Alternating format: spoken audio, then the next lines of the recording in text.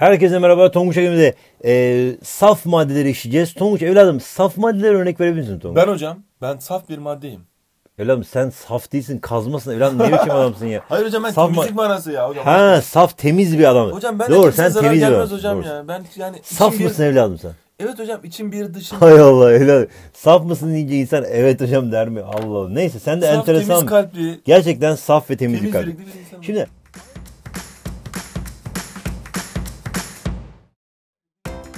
aynı cins atomdan oluşan saf maddeler nedir biliyor musun Tonguç'um? Element denir Tonguç. Aynı cins atomsa element diyoruz. Eğer farklı cins atomsa ne diyoruz Tonguç biliyor musun evladım? Clement. Bileşik diyoruz. Şimdi e, saf maddeler iki farklı madde değil. Bak tek cins atom. Mesela altın. Altın aynı al, aynı cins altın atomlarından oluşur Tonguç. Mesela e, pilin içinde çinko var. Çinko atomları bir araya geldiği zaman e, pil oluşur mesela. Mesela bunun içinde e, termometrenin içinde civa atomları ama bak hepsi aynı cins Tonguç. Hiçbirisi farklı değil. Elementlerin sembollerini bilmek zorundasın. Hatta ilk 20 elementin sembolünü bilmek zorundasın. Mesela hidrojen deyince aklına H. Helyum deyince aklına He. Bak görüyor musun? Enteresan. Mantıklı. Çok benzer birbirlerine. Ama bak burada Hi demedik. Doğru. Burada H dedik sadece. Lityum deyince çünkü bu kapmış H'yi daha önceden. Buna da kalmamış. O yüzden burada H'ye almış. Mecburen yapacak şey. Lityum Li.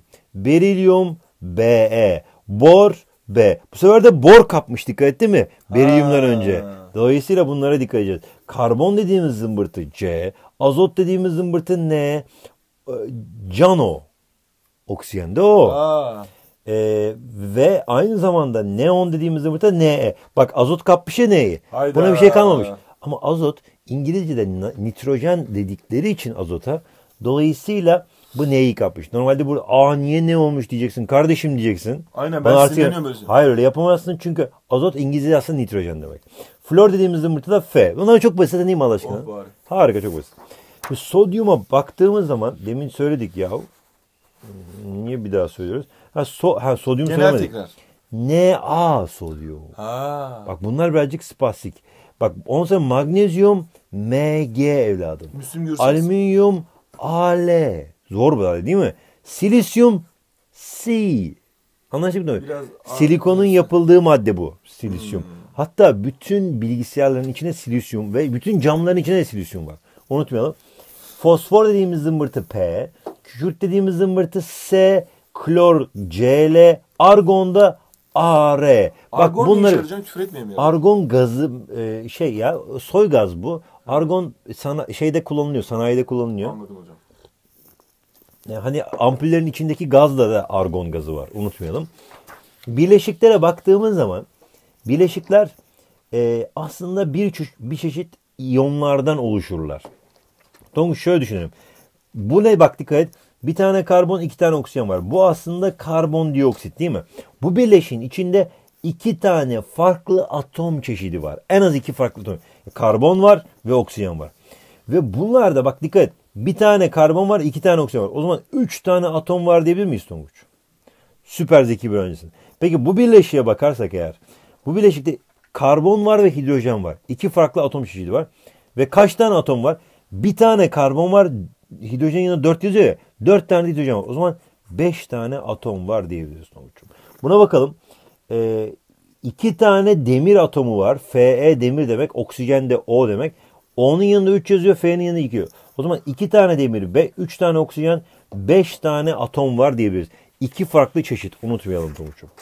Peki anyonlara bakarsak eğer. Anyon dediğimiz zımbırtılar eksi yüklü. Katyon dediğimiz şey de artı yüklü. Katyondaki T var ya. Bunu Evet. şöyle artı şeklinde düşünebilirsin. Hani küçük T şeklinde düşünebilirsin. Hristiyan işareti gibi oldu. Amin o. Eren ne diyorsun saçmalama kes. Eren sen Hristiyan mısın, Müslüman mısın, Musevi misin? Elhamdülillah Müslümanım hocam. Peki hiç Budist olmayı ister misin? İstemezdim hocam. Aferin çok Çünkü güzel. et yemiyorlar hocam. Ben et yemezsem yaşayamam yani. Ben et yiyorum. Onun için Müslüman. Hay Allah. Ne çıkarcı bir adamsın sen kardeşim. Şimdi Tonguç bak anyonlarda e, mesela nitrat a- iyonu. Nitrat dediğimiz iyonun yükü eksi birdir. Ben bunu böyle de gösterebilirim Tonguç. Bir yazsam da olur yazmasam da olur hiç fark etmez Tonguç. İstem eksi bir de yazabilirim. Yani eksi de yazabilirim, eksi bir de yazabilirim. Mesela OH hidroksit iyonu buna da eksi bir yazabilirim. Bak bu nitrat, bu hidroksit bunlar o kadar çok çıkıyor ki sınavlarda. Bunu bilmeyen bir adam patlar sana söyleyeyim. Bu fosfat. Bu da eksi 2 pardon eksi 3 yüklü fosfatta. Bu flor, flor e, iyonu dikkat edelim. Burada ise florür iyonu ve burada eksi 1 yüklü.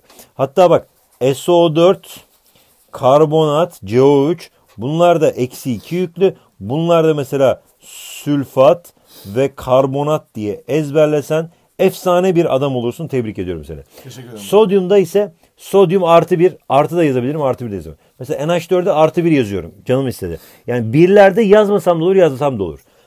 Mesela buna sodyum iyonu diyoruz. buna ise çok özür dilerim amonyum diyoruz. Amonyum. Kalsiyumda ise artı 2 yük alır. Bu da kalsiyum iyonu. Aynen söyleniyor yani. Ee, potasyum artı 1 yüklü potasyum iyonu diyoruz evladım. Potasyum bunların sonuna iyonu diyebiliriz sonuç. Ama sıkma evladım. Anlaştık hocam. Mesela H3O artı artı bir yüklü. Bu da hidronyum iyonu. Bunları bilirsen efsane bir Amonyum. adam olsun. Ödüllü sorumuzu yap cevaplara gönder. Üşenmiyorsun evladım. Amonyum. Ee, bu videoyu like etmeyi unutma. Bir önceki ve bir sonraki videomuz Amonyum. Tonguç Elim.com'da video bombardımanımız devam ediyor evladım.